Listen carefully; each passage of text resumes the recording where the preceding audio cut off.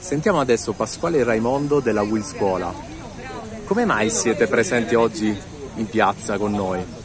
L'esclusione dei docenti assunti da GPS dalle assegnazioni provvisorie è del tutto illegittima, destituita di ogni fondamento e per questo la Will Scuola dichiara il pieno sostegno e l'assoluta contrarietà a questa azione da parte del Ministero combatteremo contro questo anche perché ricordo che la Will School, congiuntamente alle altre organizzazioni sindacali, ha firmato un'intesa nella quale è stato prorogato il contratto sulle assegnazioni della volta scorsa.